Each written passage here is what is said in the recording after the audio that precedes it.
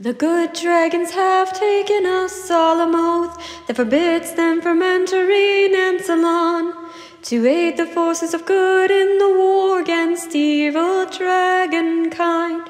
This oath was demanded by Takhisis, the queen of darkness herself. The oath was taken because the queen of darkness stole all the good dragon's eggs. Gold, silver, bronze, brass, and copper. She holds these eggs in a closely guarded secret location. If the good dragon abide by the terms of the oath, the queen had promised to return all the eggs unharmed.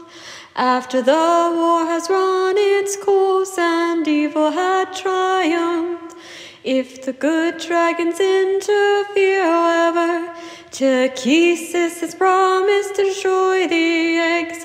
The eggs, the future of the dragon race, are the only things she needed to restrict the good dragons. Because of their lack of opposition, the forces of evil, led by the evil dragons, show every sign of eventually conquering and laying waste to the